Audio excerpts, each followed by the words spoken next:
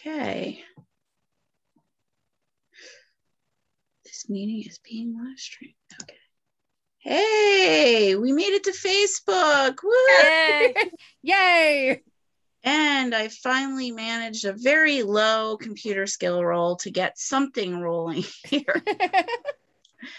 Good morning, everybody. This is Trisha Clay, and I'm the Director of Registration with MEPACON. And I'm so excited to hopefully see lots and lots of you in person in November. But for right now, we're online.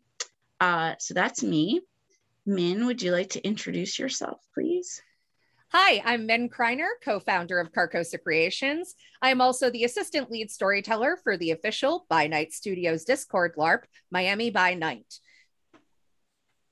Thanks, That was Min. a whole, a whole like grown introduction. It was beautiful.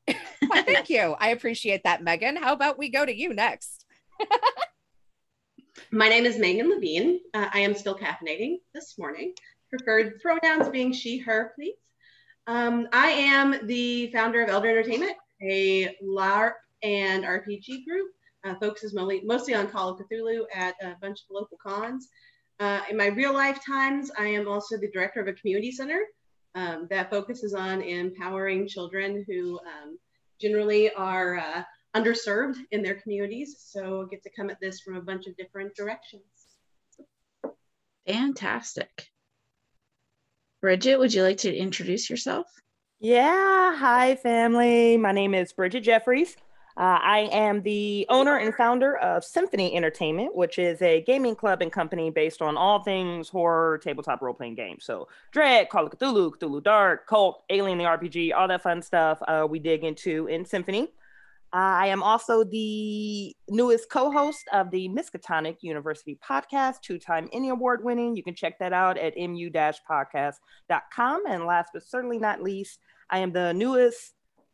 Sorry, uh, my struggle has been struggling since like Thursday. Sorry, I am the newest Chaosium uh, community ambassador uh, supporting the Miskatonic University. So if you're looking to create and self-publish your seventh edition Call of Cthulhu scenario, uh, holler at me and uh, be on the lookout for Jazmin because I am going to be chasing her down all the way until she gets both of her scenarios on the repository.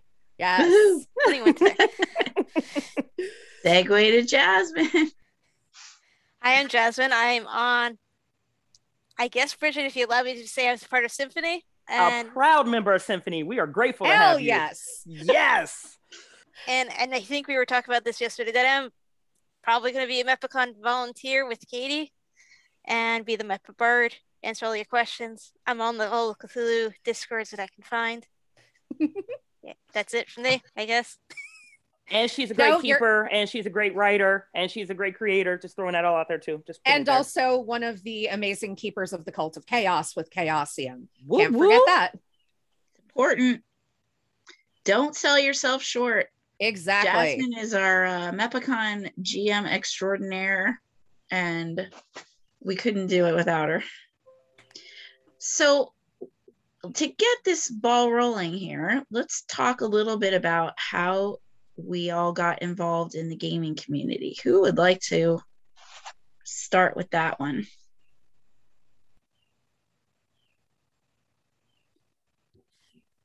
All right, I'll I'll, go in. first. Oh, go ahead. Go for it. Go for it. No, you go first. Um, so I will make this as succinct as possible because it's a long story. But I got put into detention in high school, and while sitting in detention, my AP calculus teacher started drawing game maps on his whiteboard, and I'm Ooh. nosy, and I started asking a bunch of questions, and that turned into me asking questions week after week after week after week until he actually invited me to his basement uh, to start playing Advanced Dungeons and Dragons. So I started in high That's school because I talked too much. That's amazing. That is a fantastic story. I love that story. Thanks, babe.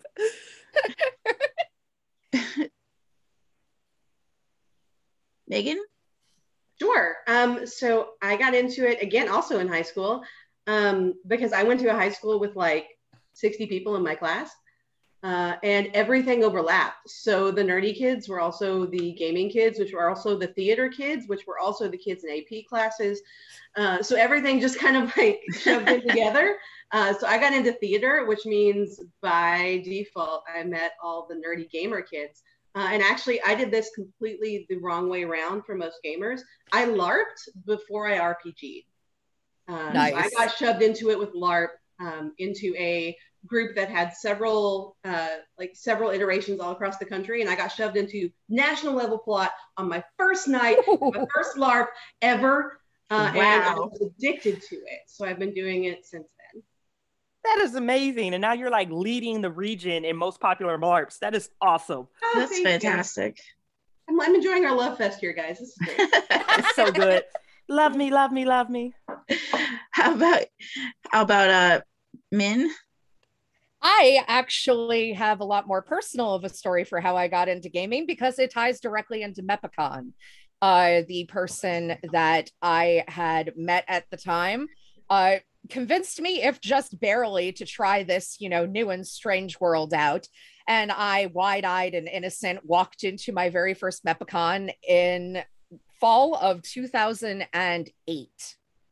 So I have been going to MEPACON and have not missed a MEPACON since then because I got hooked. And that is actually the real start of my love for gaming was MEPACON itself. And yeah, uh, needless to say, because MEPA is my home con, it means a lot to me. And wow, I'm getting myself choked up. So let's go on to Jazmin. Okay. Related to Mayghin, I was in I I um while I was in college, my my major was theater. So one of the the direct the student directors was a DM for third edition, and he invited me to play, and that's way back in 2005. And I think around that time, I went to MEPACON once, and then didn't go back for like another like 10 years or something like that. But yeah, I started way back in 2005, third edition D and D, and I Nice. think I my first game of Cthulhu was way back in around 2013 or 14 with Kevin. Nice.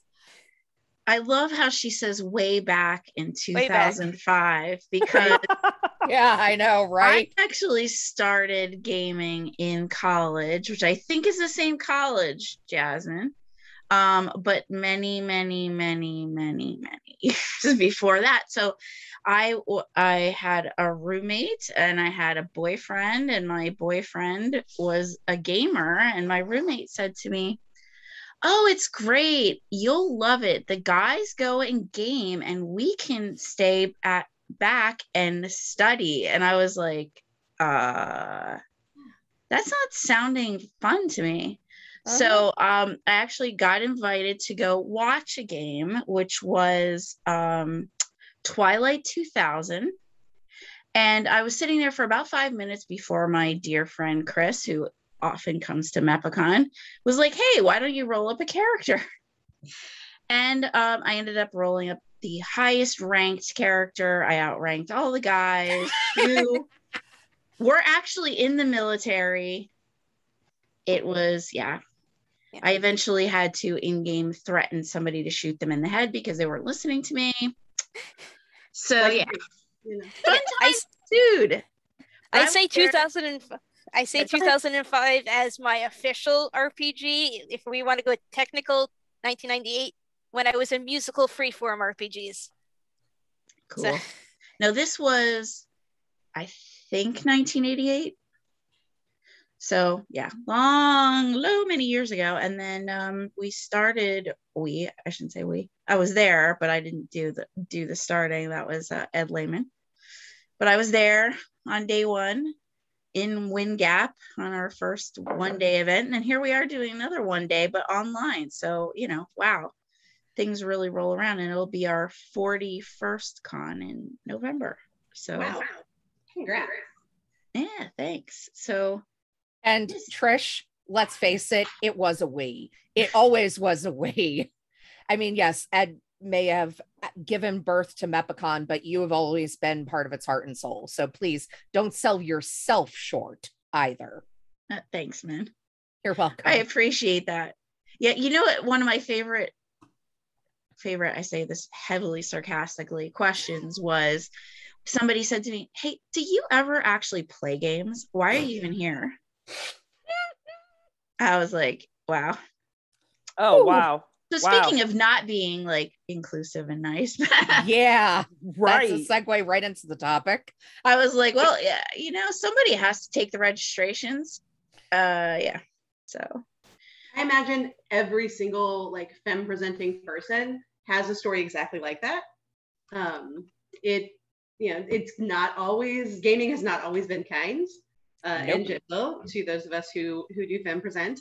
So yeah, I think we probably all have that story. Yeah, in some form or fashion. Yes. probably, especially those of us who are storytellers. I know I certainly do. I know this wasn't our one of our questions, but as long as we're talking, No, go Um, for it. So I I am the storyteller for our group. Uh, and if anyone has ever like sits in our house, tonight is our our usual RPG night.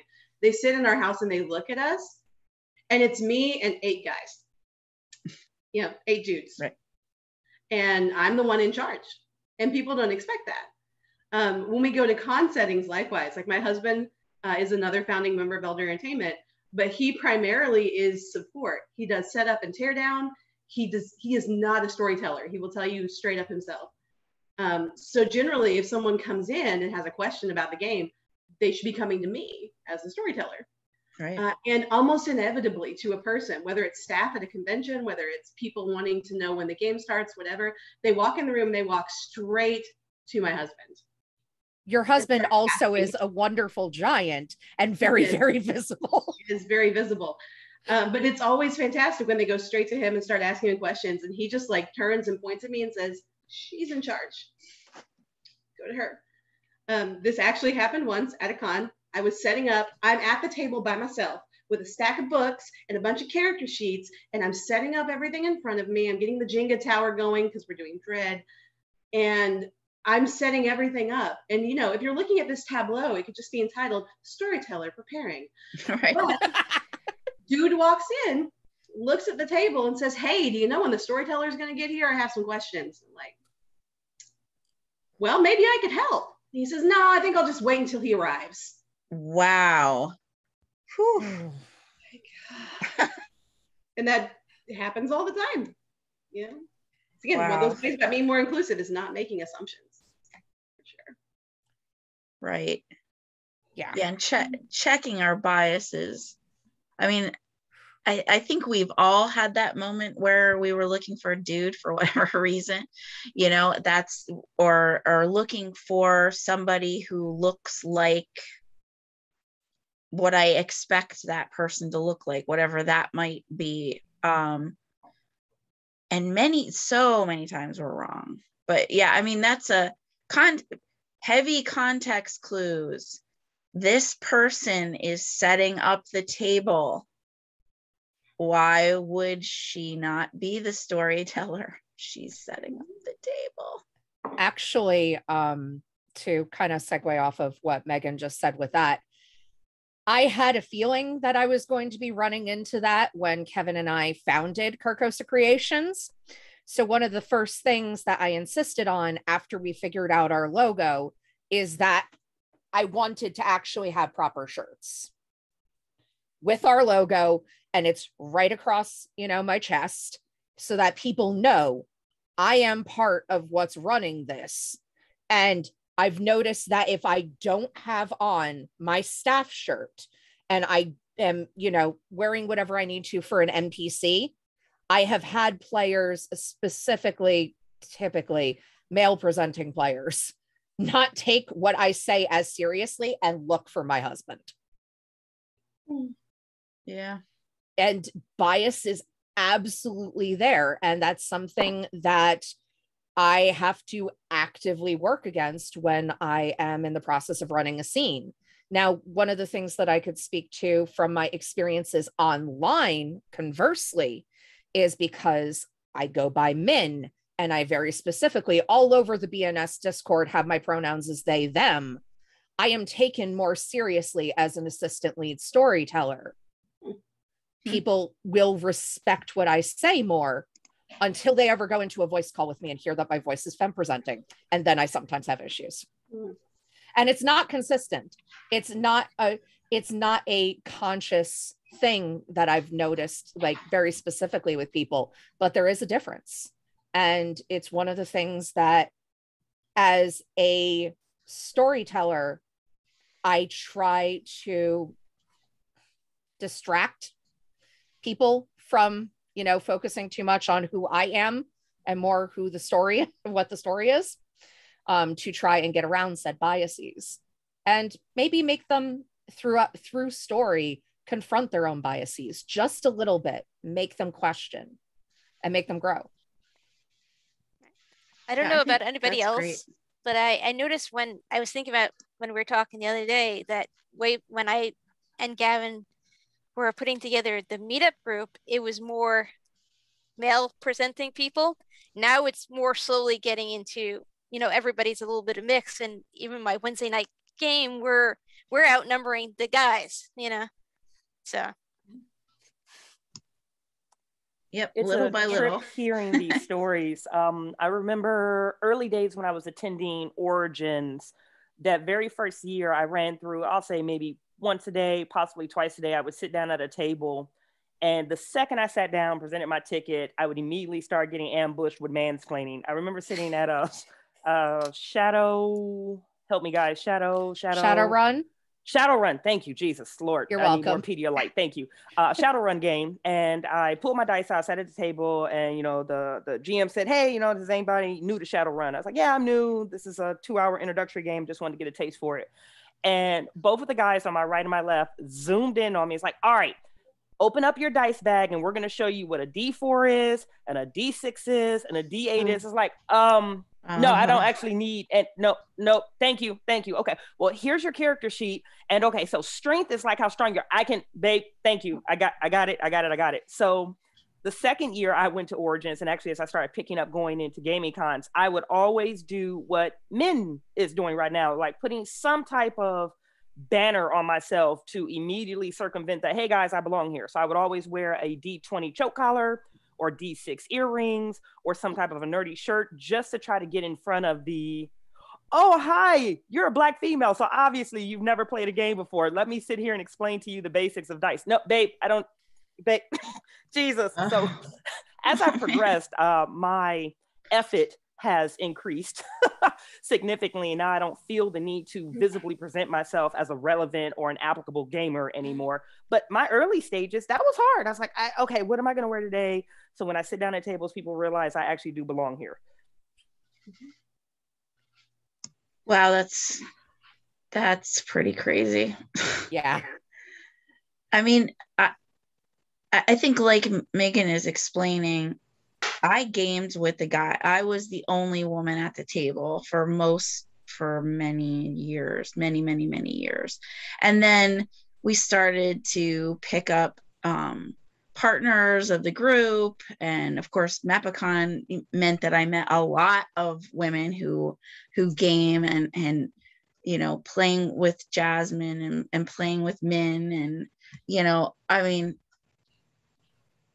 i never thought like a man has to be the the game master or the storyteller i never had that in my head but it does help you when you see more when when you're seeing more women right mhm. I, and like Bridgett said, I hope we're getting to the point where it doesn't have to be like I have some sort of clothing on, although I always have my staff shirt on. So maybe that helps. You know, I belong here. Look at my shirt.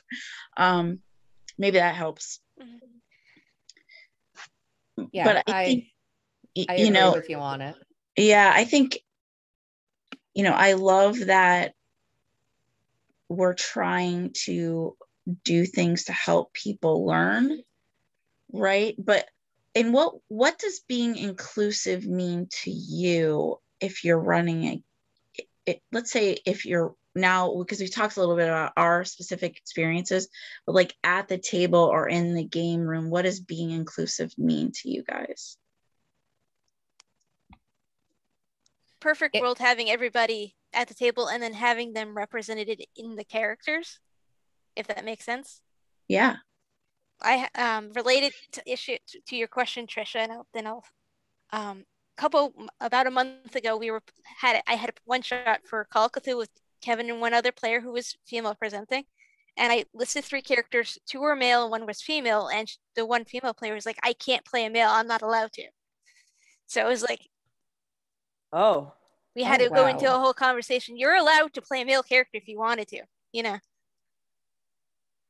So, Oof. Well, I'm glad you were able to help that player Mhm. because that's really, really, really important. Yeah. It's so important. Mhm. And um, going off of what Jazmin just said with that is that as a storyteller, whether with Carcosa, whether with By Night Studios, whether with Elder Entertainment, when Kevin and I run with Elder Entertainment, we want to make sure that as GMs, we not only have the table be welcoming and that no one ever has been made to feel like I've felt at tables before. That's my biggest goal is I want everyone to feel welcome at home and my biggest and most important thing is not how the plot goes, is not how if things end the way I think they should. It's for my players to have a good time. And not only for my players to have a good time, but for them to have it as an experience that hopefully they treasure and remember. And if I'm able to do that by making them feel welcome at my table and safe, because we deal with themes of horror, we deal with themes of existential horror, dread, and all these other really difficult topics. And to do that safely, sensitively, and in a way that the player can still have fun while their characters have absolutely lost their sanity, it's difficult. It's a difficult balancing act. And one of the other things that I also typically like to use, and I know Elder Entertainment does this as well, is if there is a character that, unless there is a very, very, very specific story based reason, we are like, you want this person to be gender non-conforming? Go for it. Make it work with the sto- with the story and tweak what you need to. Once we put that character sheet in your hands, you are the character. You are the one that is in control and you can make your character be who you want them to be. Especially as someone who is you know gender nonconforming gender queer with my presentation i particularly like that because there are days where i'm feeling more masculine and i don't want to touch anything that has a feminine tint to it. Mhm. there are days where yeah i'll play up my fem side. Let's go for it and there's the rest of the days where I just want to be my eldritch horror self and cause people sanity loss. And that works too. And I want that same flexibility for my players so that they feel just as comfortable. And I think that's what inclusivity inclusivity really is all about. So that people are happy, comfortable, and safe above anything else.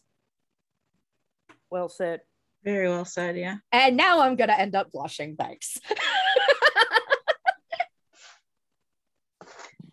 Um, I think for me, inclusivity looks purposeful. Um, that's that's where it has to start. It has to start before you even get to the table, because you're thinking about characters ahead of time, and you're thinking about is this going to be problematic? You know, uh, you're thinking about the story, the content, and the material, and is this going to be problematic? And let's be honest, you know, with Elder Entertainment, we love Lovecraft. You know, we do primarily Call of Cthulhu. That's most of what we do. I ran one Call of Cthulhu game, my first Gen Con, like 12 years ago, and people said, you can't stop doing this. So it's what I do. Um, and Lovecraft has got some shit going on, you guys. Like, Yes. it's Right. We talk about it all the time. Yup. racism, misogyny, like xenophobia, like it's all in there and it's problematic. And you know, for me, making Lovecraft inclusive is hard um, because you have to be purposeful and intentional up front.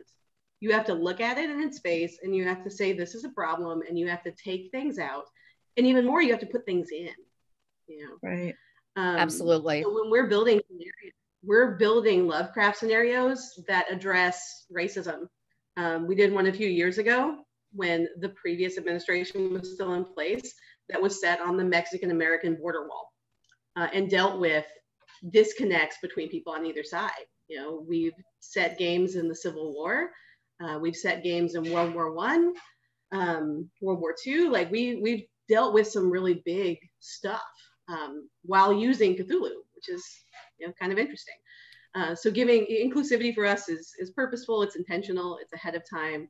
uh, and it's giving people the space to deal mm-hmm. with real world stuff uh, in a way and in a place that's safe, um, that they know that they can trust. Um, it's also given people an out. Um, yes. Kevin or uh, Min kind of hinted at this. One of the things we do in elder entertainment is we have what's called our kiwi. Um, so our kiwi is our it's our pause button. If you as a player, not as a character, we want characters to go crazy, but if you as a player are feeling like I don't like where this is going, I'm becoming uncomfortable. Um, that kiwi, you know, you say it in a LARP setting, it's like say, say kiwi, you pause, we pause that scene, you step away, somebody's gonna check on you and say, what's going on?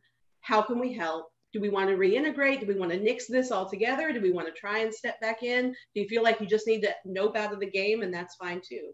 Uh, it's giving people that space to to say when they're uncomfortable because we can't as, mm-hmm. as humans, we can't experience everyone's lives we can't know everyone's feelings and uh, right. and traumas all we can do is give people the space to to work through those as they want to if they want to mm-hmm.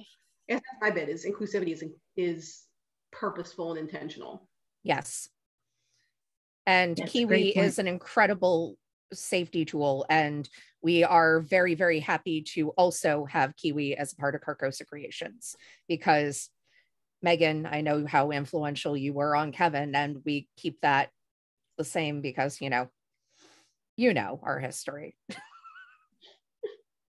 One less thing to remember. and also, it works. Safety tools matter. Yeah, I think that's great. And I know when way back in the day when I first started gaming, there was no con- no mm-hmm. conversation mm-hmm. about anything like that. I mean, I mean, I mostly played at home with close friends, and so so we worked around it in other interpersonal ways. But that's really important in a in a con or a place anywhere that you're going to be bringing in people that you don't know well to be honest, I think it's important when you do know the people because you might not realize right. what's a trigger or what's problematic for those those mm-hmm. folks. I've definitely been on the the other side where I didn't really know the people where something happened and I was just too awkward to say, "Hey, this is an issue." Yeah, well, that's hard. That's difficult thing to do. Bridgett, did you have something you wanted to share about that? Yeah, I was um, just thinking about a definition of inclusivity that I come across. I actually put it up on my phone, and uh, inclusion is the practice of providing everyone with equal access and opportunities and resources. So I was thinking about that at any table that I'm running for Symphony or when I start onboarding GM, something I'm going to be very intentional. Uh, like Mayghin just said, it, it begins on the front end before you even sit down at the table. But when you're looking at inclusivity from the table from Bridgett's attack point, it's making every person at the table feel seen. It's making every person at the table giving them an opportunity to shine. It's making every person at the table feel safe and knowing that it is a group effort. We're all in this together um, to make sure you walk off the table having a good time. So I have played with different gender presenting people. I have run for individuals that were visually impaired. I have run with people with speech impediments. And you can see sometimes that, and it's almost human nature. Like if, if you're coming to the table, it's like, I don't want to be an inconvenience because you're going to have to take an extra step to accommodate me in this way. No, you're not an inconvenience. You belong here. I want you here. And we're going to take that extra step. Is there any other steps we need to take to make sure you're having the best time possible? Awesome. Let's rock out from there. So I think from an inclusive inclusivity standpoint, for me, it's in the moment, at the time, ground zero. What can we do to make sure that you feel safe, that you feel comfortable, that you feel supportive, and that you matter at the table? Absolutely. Absolutely. That's really, really well said, Bridgett. Yeah, I think Thanks, that's baby. great. That is great. Um, and I'm thinking about what Jazmin was saying about being at the table and feeling awkward um, and there's there's an issue i'm just thinking of there's a lot i've played with a lot of people over time who are more shy and they don't necessarily get the you know blockbuster you know center stage uh plot point and I know some people that don't want to be in the center stage mm-hmm. plot point, and others that might. Ju- I want to be there, but I don't know how to accomplish it because I'm a shy, awkward person, or I'm awkward in this situation, right? Um, what are some tactics that you you all think of that can help with that? Mayghin, do you want to start off on this one? Because I have a feeling I know where you're going to go with this one. um, so again, man, I just keep coming back to like pre-planning and intentionality. Um, in a con setting where you're the one building the character sheets, there's this amazing ability for you to make sure that every character has something that is uniquely them. And when you are building the scenario, to be able to include a point where that person's one thing that is only for them is going to be a key point. And it doesn't have to be a huge character thing, it doesn't have to be a gigantic part of the story, but by the end of it, you know, as storytellers, we have this amazing ability to put the puzzle pieces on the table and then to make sure they're going to fit into the big picture.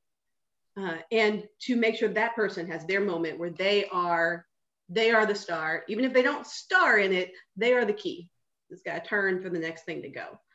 Um, and that's a spectacular uh, gift to us as storytellers to share that with other people. Um, one of the other things I love, even if you're not the one writing the character sheets, um, so we do a lot of dread with Elder Entertainment. People love dread. And the great thing about dread, for those who've not played, so uh, most time you use dice, you know, a lot of times in RPGs. Dread is a Jenga tower, okay? That you pull pieces out bit by bit. Everything you would normally roll dice to do, instead you're pulling Jenga pieces to do. And if the tower falls, your character dies. Stop mm. in the story, dead. Um, so it's a lot of fun, but Dread character sheets are unique in that all they are is a series of questions. There's no numbers, there's no skills. It is just a series of questions, open ended, that you write your answers to. Uh, and it, for players, it's a bit of a challenge because they're like, well, I want to do this thing. I want to try this skill. Do I have it? And I'm like, I don't know. Did you write it in your character sheet? You know, you're going to jump across a chasm. Did you put in there that you did track in high school? Okay, let's go. So it's a bit of a challenge. Um, but the other great thing about it is people put things in there um, and your job as a storyteller is to go back and look at those sheets and pull out absolutely everything they put in. Everything is an opportunity. It can be the smallest little line, but it's an opportunity to do something spectacular later on, to challenge them, to encourage them. Like my husband's whole role when we do dread is just to whisper in people's ears.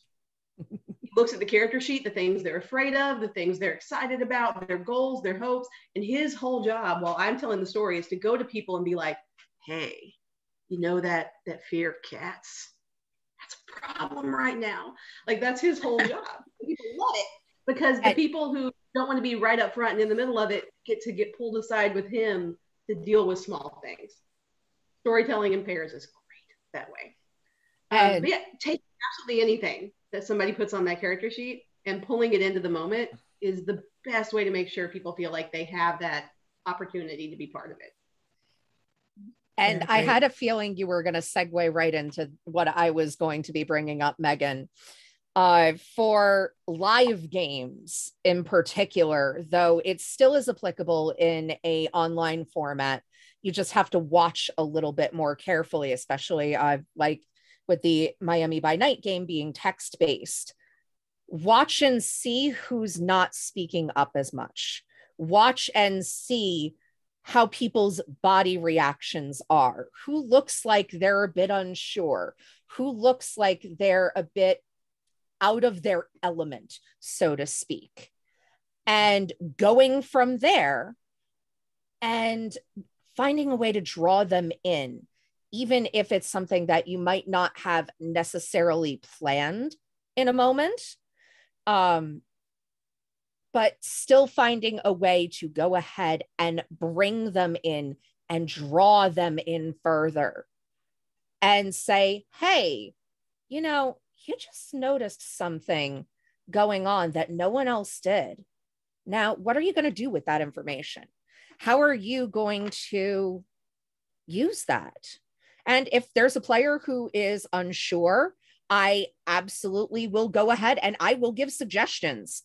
We always say right at the opening of any Carcosa Creations game if you need suggestions for things, don't worry, just ask us. We have plenty of ideas.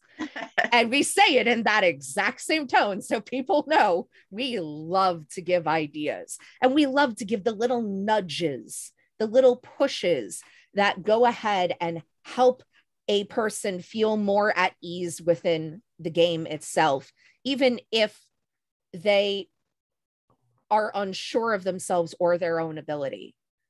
And being able to act on the fly like that besides prepping it in from the front end, I think is the second half of the really twofold way of making sure that everybody gets their moment to shine, just like Bridgett had brought up. Everybody gets their moment in the spotlight, their moment in the sun, where people are like, wow, that's really awesome. And it's a moment that you have that can sear into your memory with a game, with something that just one particular player did that you never forget. And we have we have memes of those moments for Carcosa. I mean, I know people will know ya boy because that's for now sure. a running joke for a few years now. And there's those little moments that just build up and treasure into these amazing gaming stories that we have not only as storytellers, but our players also have so that they could say, Oh, I remember this game. Oh, I remember this. And those moments are, I think, some of the most beautiful things about inclusivity because they were involved, they were included, and now they have that moment to treasure. And honestly, that's one of the things that gets me the happiest as a storyteller. That's what I love. That's why I do this. Right. And you've built, I think what we're talking about here is really building a community where people feel valued and they can try they can try on different ways of being safely right in through role playing or through live role playing that no one it's your character right so if it doesn't work out exactly the way you want it you know i mean probably we should be more like this in regular day-to-day life anyway but yeah you know we try I agree. things out but but i think it's a great opportunity and just as kind of a note tag teaming on what Min said really beautifully by the way babe Oh. Um, when you're dealing with role playing games, we're all in a place of vulnerability. We're stepping out of our sleeves in so many different areas, whether it's geographically, racially, sexually. I mean, there's just so many different ways that we're jumping out of our skin. So we're all coming to the table with a certain degree of vulnerability. And I think the one thing that Min said, again, just so beautifully, is remember how you make people feel people may or may not remember how cool that dragon was or how deadly that room was or how creepy the vampire was but they will walk away from the table remembering how you made them feel how you made them feel as a person how you made them feel as a uh, as they were role playing their character. And i think that's really important just to step back and always think about the humanity in that because when you're in those moments and you're in a vulnerable space you as a storyteller the keeper the gm you have so much influence over the table on how you make them feel. So, one thing I'm obnoxious for, and Jazmin will probably attest to this, I'm really big on positive affirmations. If you said a funny one liner, I'm going to acknowledge that shit. If you made a decision that was completely off the walls and it was brilliant, I'm going to tell you how brilliant that was. It doesn't matter if I'm sitting at the table next to you or if I'm the one at the head of the table. If you did something amazing, I'm going to stop and acknowledge it um, because I know how that feels when someone goes, wow, you know, it's not just, oh, cool, you roll a 20. It's, whoa, you really took me off guard with that question. I have to step back and actually consider that. How you make people feel at the table is really important. Um, Bridgett, Great er, er, point.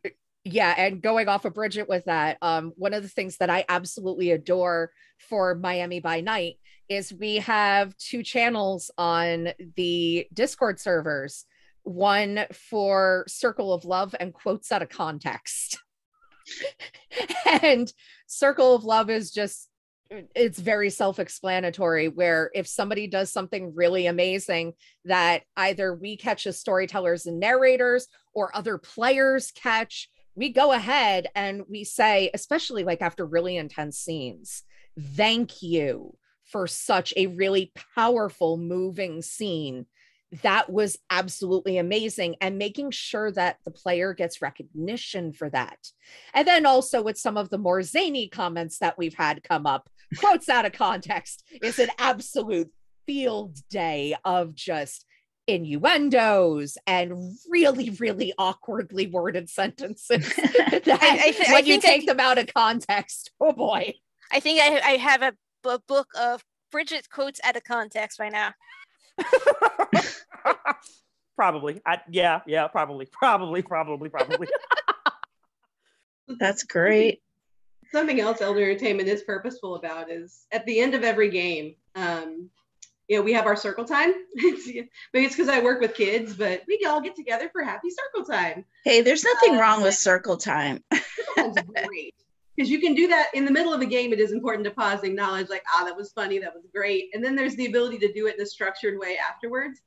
Uh, and some of our games at, say, Gen Con, our Saturday night LARP will get to 50 people.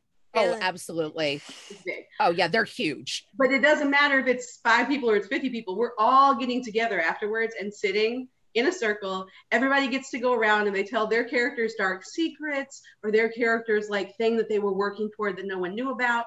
So again, it goes back to how you pull everybody in so everybody gets their moment.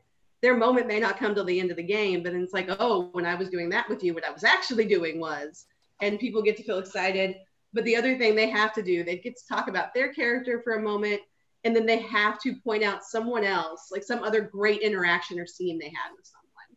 Yeah. So they're sharing how other people were doing and what other people were uh, were engaging in with them, and it gives a chance to do all that that back and forth of love and uh, and building of community because we have people who've been playing with us since our first year there 12 years ago. And yeah. the reason they keep coming back is those connections and those funny moments and the stories afterwards um, that really pull people together and make them feel welcome. Your boy was a wrap-up moment for carcosa. That was absolutely during our wrap-up circle where one of our players ashley she forgot how to say Nyarlathotep and just literally went and pointed at the player who was playing the Harlatep for us and went, ya boy over there. And ya boy Nyarlathotep became a thing. and it has persisted for, I'm not kidding, five plus years after the fact because of how impactful that moment was. And it was just in a wrap up. And sometimes, as a storyteller, especially because when you're managing a room of 20, 30, 40 plus people, even if there's multiple of you, you're going to miss a lot of the amazing moments. You're absolutely going to miss a lot of the incredible moments of role play that your players can give. And during that wrap up circle, it's it's where I get to hear all the little things and see the interactions, especially after somebody finds out a really big reveal. Like a player's like, oh, well, I was actually doing this all the time. The looks of shock and horror mm-hmm. every time without fail, every time. Those are some of the best moments, the moments that I absolutely positively live for at the end of a game and everything always ends on such a beautiful high note with everybody talking about those moments as they walk out my door smiling and laughing. And that that is the best gift that i can have as a storyteller are those smiles those peals of laughter. And it's i'll be honest it's a runner's high it's absolutely a freaking drug. And there's sometimes where I am giggling like a maniac afterward because of how amazing it makes me feel because of compersion. And yeah, that's oh, it's so wonderful. to be honest, we're all storytellers because we all have a little exhibitionist streak. I mean, it's okay. Probably. Probably. so what I sense that you had something you wanted to share, Jazmin. I was just gonna say, like, every time that Min has a LARP, I have secondhand like stories from Mayghin and Ashley all the time. And same thing with like Bridgett, I, I'll hear secondhand stories from people, and it's like just the stuff that you guys get into is hilarious. Thank you. Well, and that's that's that's the great thing here, right? I mean, it's not only did we make a great experience for the people in the room, right? But we built this community. Now those people feel great. They go out, they talk to their friends about, oh, we had this great experience. I mean, I think that really has the power. I mean, that's what I love about about MEPACON is that you know I see Min's players come out and Jazmin's players and you know every oh we just did this thing. Oh this was great. Oh I or or somebody's running out on a break to like grab a drink really quick and they're like I had to get back to the table because you know whatever. We something it has to be but I have to go into the bathroom or whatever it is.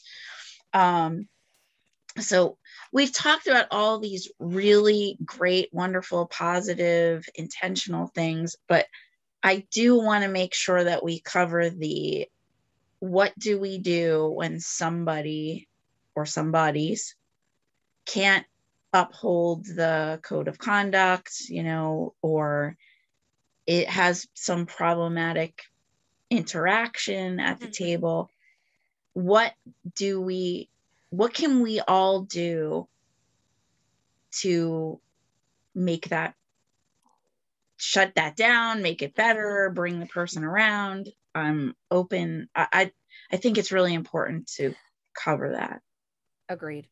I i haven't had an in-person problem since whenever that time with kevin and the, the players I've had this year, and Min and Bridgett know who exactly who I'm talking about. I just went immediately to staff or to the, the GM and said, "Hey, look, I've had this pl- problem with this person. Here's why," and then it was just dealt with immediately. You know, But there's steps that can definitely be taken as a storyteller, GM, keeper, however you want to put it, that you should take before um, hopefully needing to reach out to Get your convention staff. staff. The biggest thing that I try to do is I try to see first and foremost is this a case of understanding where an education moment is needed? Mm-hmm. That this is, is that is the place that I come from when I am trying to evaluate is this a a person's having a technical issue, especially with the past year and a half that we've had, because there have been technical issues where people have ended up speaking over each other, not realizing it. And it was because of an issue with Zoom, an issue with Discord. And it's something that's very easily fixed and not actually meant to be as severe of an issue as it ended up being within the gameplay itself. Mm-hmm. That being said, that's not always the case. When it goes beyond it being possibly a teaching moment, then one of the hardest things you have to do as a GM, especially as someone uh, like me who is partially femme presenting, mm-hmm. is to step up and say no. Because culturally speaking, and especially with how I was raised, I was raised to always make sure that everyone else around me was happy. I was raised to be a people pleaser. And I was raised that saying no was impolite. And getting over that supposed impoliteness to be able to say no, that is not okay. And to be firm yet fair about it is an incredibly difficult thing to do. And I've had to do it several times, both in Carcosa and with By Night Studios and is some of the hardest things that I've ever had to do. Because above all else, I want people to be having fun. Mm-hmm. And no is not a fun word. Right. No right. means that there it's hard doing it. Is very hard doing it. It is very difficult doing it. But using that no and knowing that those two letters offer a lot of protection to other people who will not be stepping up and able to say no themselves personally is how I find the strength to do it. Because if I don't say no, that is not okay, that means that one of my players might be thinking it and not able to say it, afraid to say it, even with the safety things that we have in place within the game, even with the restrictions, the lines, the X cards, the safe words, Kiwi. There's going to be moments where you just freeze and you can't get your voice out of your throat or get it to come out of your fingertips and on that keyboard or even hit enter to say it. Right. And I, as a storyteller, it is my responsibility to be able to use that no carefully and within reason and with discussion, not just a blanket no, a talking, a conversation that is not one sided to make sure that both sides understand what's going on. Now, if that no doesn't work, then I reach out to convention staff because then it is going, okay, you are not listening to me and my authority as a GM. That means that you are a possibility of a risk to my players. And that means I need to notify convention staff about you. And there have been conversations that I have had to have with multiple convention staffs, whether it's from in person or online, that I have had to put a boundary and say no, because that is the safer thing to do for inclusivity. Because inclusivity is not just making sure that everybody feels fit in and belong. It's also that everybody feels safe. And the reality is is not everyone is necessarily safe. And sometimes keeping people who would be harmful out is better for inclusivity and is one of the hardest things you have to do. I just far. have Min's Min's answer forever time. And now you got me blushing. Just Min's answer for all time. Thank you. So I approach um I approach the what do you do in this situation from two different angles. Uh, one, I'm really big on something called a temperature check. If things are getting heating on the table, whether it's in character, out of character, if things are getting super tense, if things are moving really fast, I will immediately go, all right, hey, uh, temperature check. Everyone okay? Look at me, give me a thumbs up, give me a thumbs down. I do it online, I do it in person. And that way I can quickly do a scope on how everyone is feeling across the table. They're not super interruptive, but if, um, I don't know, if Min and Mayghin are arguing in character and like, you know, it's getting really tense and they've gone all the way to LARP mode and they're da da da, da I will interrupt them mid argument. Ah, temperature check. Y'all both okay? Table, y'all right. okay? Okay, great. That's a great way to just get a feeler out to figure out how your table is doing the second thing, and I learned this the hard way, but now it's like my absolute favorite thing ever. When boundaries are being crossed, opinions are clashing, and things are getting heated, immediately calling a break is one of the yes. sexiest things you can do. And I do mean don't let it go, don't let it ride, just da da da da da da. All right, hey, awesome. We're gonna take a five minute break right now. Everyone disperse. Get off yes. the table, go get water if you're in a con, go do a bio break. If we are here on the table, I am muting the server. We are gonna do a quick five minute break one, it lets people cool down because we, we're all human. When you get emotional and fired up or you're passionate about something, whatever, it's very easy um, to not say and do things that you would normally do or that you actually mean. Um, and for people who are not, like I'm hyper confrontational. For people who are not hyper confrontational or, or, or just shy away from confrontation, aren't comfortable with it, especially when you're dealing with issues of inclusivity, taking that break and then talking to that player privately is a really big help. I had to do that once at Origins. Um, I was at my wits end and I could see the table was starting to do that emotional wave. I was like, ah, we're gonna call a break right now. It wasn't an appropriate time. It wasn't a cool cliffhanger. It wasn't even like ah, break right now. I'll see you guys in 10 minutes. And I pulled that player over to the side, like, hey, here's where you are, here's where we are, and here's what you're doing. Your options at this point are I can refund your money, give you your ticket back, you can go back down to registration and get your four bucks back, uh, or you can correct this behavior. Yes. Here's where we are. What do you want to do? Yeah, great. Now, That's a great point. Unfortunately, yes. by the time we came back, um, two things that I observed there. One, by calling a hard break when things got tense, all the players at the table, to uh, Min's point, knew that I did something. I, I, my silence wasn't complicit into the BS that was going around. They knew I did something. They may not have heard it, they may not have seen the confrontation, but they know I, I pulled out the rug for a reason. So at least they know that they have an ally or a defender or somebody in their court. Um, and that was very helpful. I had a couple players come to me afterwards and go like, "Hey, thanks." I was like, "Yeah, no, I felt it too." Uh, and the second thing is, I really wish I just kicked that player off the table. Um, he sat there and brooded emotionally the last three hours of the game. Was not communicative, wouldn't speak to me, wouldn't speak to the other players, was completely shut down. That wasn't enjoyable for him. That was awkward for me. But you know what? That BS line of conversation that he was going, at least that got cut off. Yeah. Right. So hard pauses, especially if you're not confrontational, a hard pause is great. Get everyone away from the emotion, get everyone away from the scene, get everyone away from the chaos, and then you can approach people individually or just let people settle down. And constantly doing temperature checks. Y'all okay? Everybody good? I like I calling them temperature checks too. That's oh. really that's really great wording for that. And I hope you don't mind if I end up borrowing that for my games because I like it a lot. Hey, listen, I stole it from a therapy session, so steal it. It is great because it, it is. It's a, it's, it's a, temperature check. It's an emotional temperature check. Like we're, we're dealing with a situation that uh, is dealing with racism, and we're here and sings. Hey, y'all are role playing the hell out of the scene, but is everybody okay? Okay, right. all right. Keep role playing the hell out of the scene. Do your thing. That's funny. I wondered if you had gotten that from therapy. I'm trauma informed trained from previous work, and I was like, that's that's trauma language.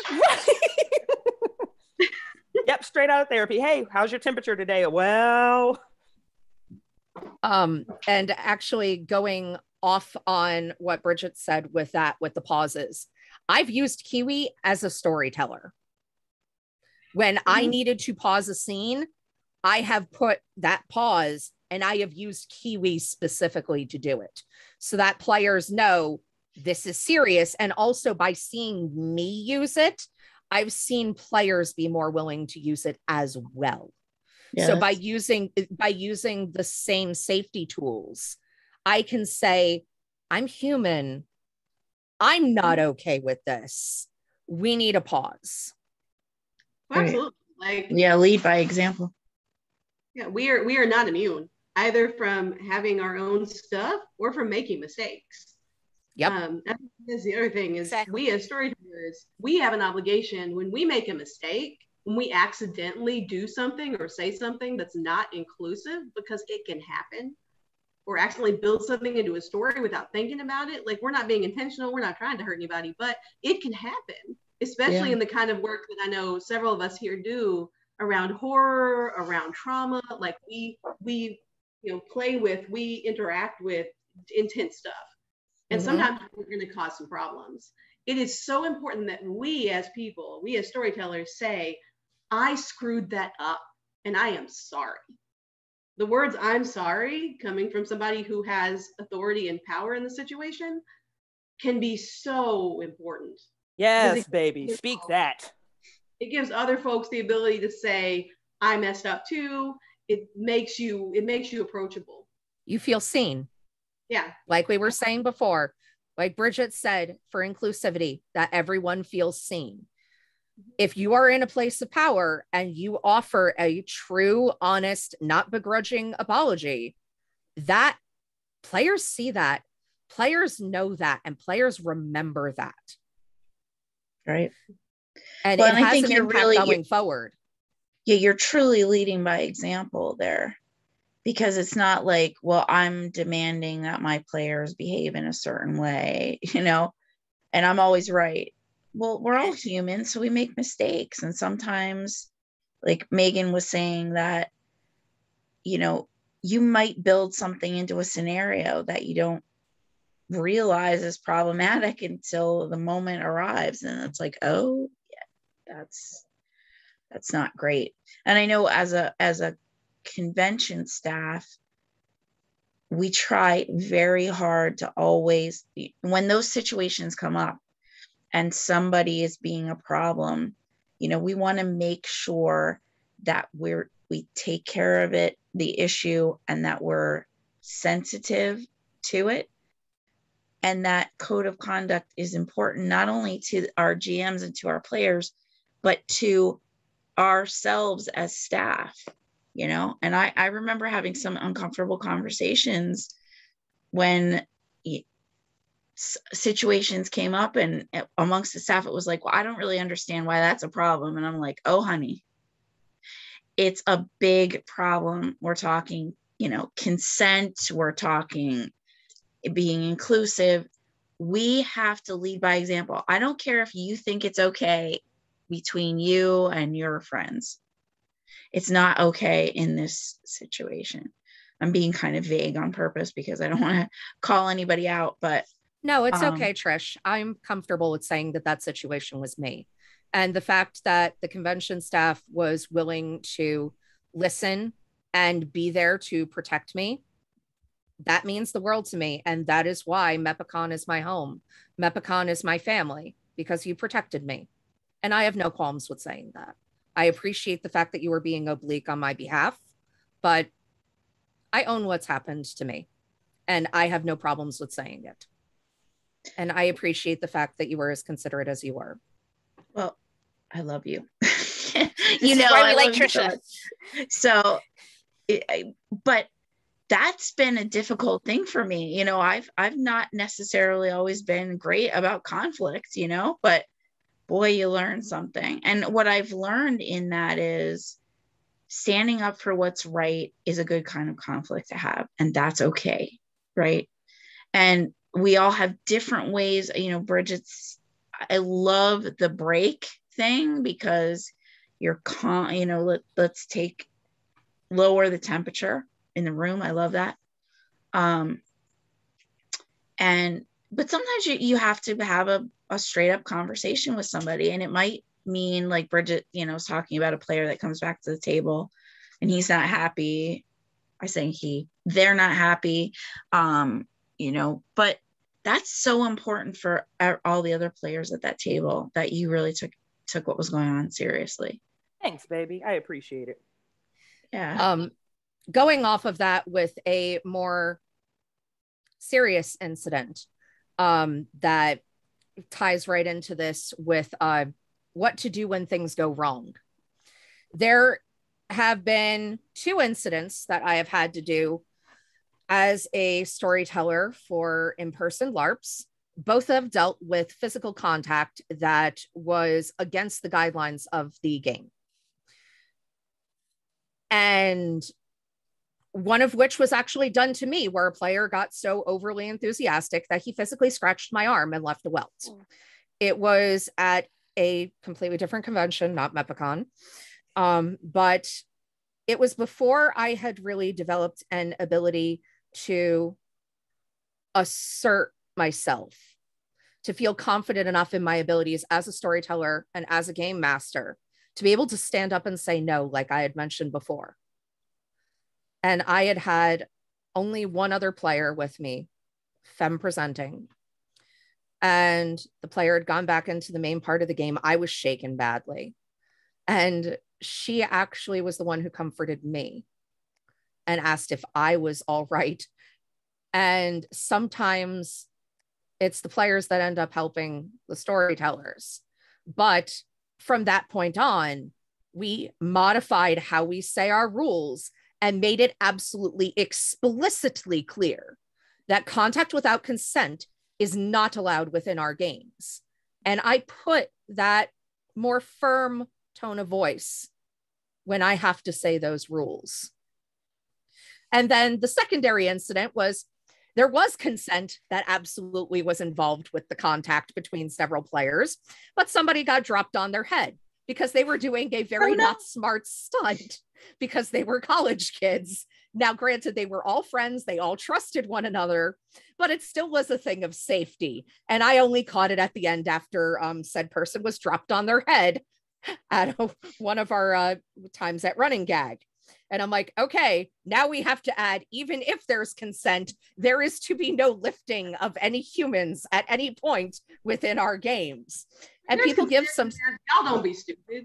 I mean, yeah, exactly. Because even if consent's involved, sometimes you have to put a more firm line because safety matters. Safety first. Yes, Yeah. absolutely with that. So there's two different sides to this story about, you know, dealing with modifying a rule. Sometimes you need to have those rules at your table to keep your players safe, whether it's from negative things like the first story or positive but funny but really not good things like the story of someone getting dropped on their head in one of my games. Great point. So that's also something that's very important to think about that besides those pauses, you also have to think about safety.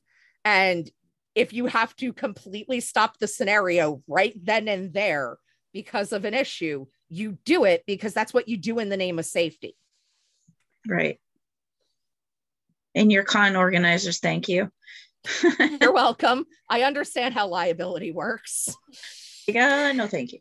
I, I've said this to one of my friends that um, runs games occasionally. If something happens to you and you're uncomfortable to go to staff or whatever, I will go for you and I'll be the, the your your cleric mom and I'll go help you. You know, even if I'm in the middle of my own game, I'll go and help you. Oh, I love it. So it's just a try, trying to get people over that hump and in, instigate, in, you know, respect their own boundaries for themselves. Yeah. Yeah. Yeah. Yeah, and that's great that you're that you're able and willing to do that, Jazmin, because there are a lot of people that, you know, again, many of us are conflict averse for many variety of reasons. And that feels scary, you know? It is scary.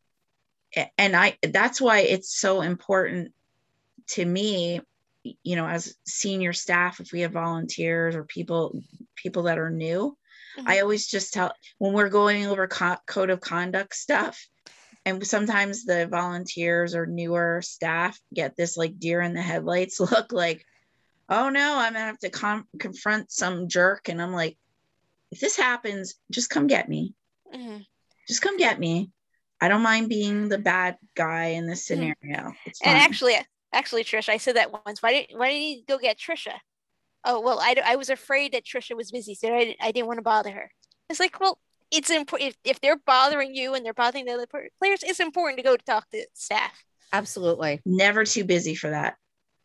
That is way more important.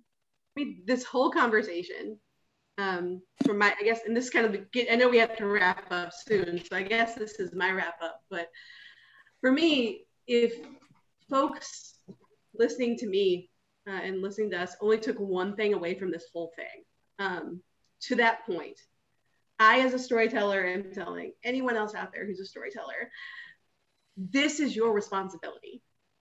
As a storyteller, you put yourself in this position of power and responsibility. You made yourself an ally just by putting the little STGM, whatever, after your name on the mm-hmm. chat, on your badge, on your shirt. When you put staff on there, you've taken on the mantle and the responsibility of not just creating a culture of inclusivity, but of maintaining that culture. You don't get it, you don't get to have it be someone else's problem. You don't get to have it be someone else's deal. You don't get to ignore it because it's not affecting you or because it might disrupt your game. Like it's you now. Every one of us in this position has to step in and step up and be willing to say, this is not okay and this is not working whatever whatever your games look like whatever inclusivity is to you it's your job right now as a storyteller as a you know, as a person in authority to help make sure that happens. Just, boom. End of it. That's it. That's for me. That's then um that's a if, great mic drop though. Yeah, yeah it absolutely sure is. is. That was a bomb mic drop. And going right off of what Mayghin said for my wrap up to add on to what she said to take away. As a storyteller, your job is to facilitate your players' stories. And part of facilitating your players' stories means making sure that they're included and represented. And it's may not be the way that you thought the plot would go. It may not be the story that you thought it would be at the start. But if your players felt included, felt safe, felt happy, and they were able to take away a beautiful memory of that game that they can treasure, then you as a storyteller have done your job well. And that is what I strive to do every single time I put my fingers on the keys, or I am in front of a camera, or I am in front of a mic. And that is the biggest takeaway added that I could add to what Mayghin said.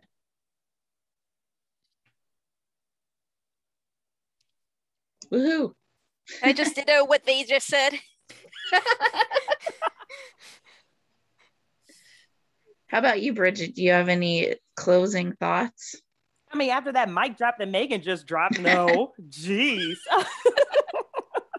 um, I think closing thoughts when we're dealing with inclusivity to not repeat the awesomeness that has already been stated.